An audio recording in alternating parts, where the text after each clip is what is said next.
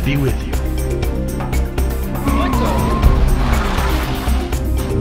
What are you waiting for?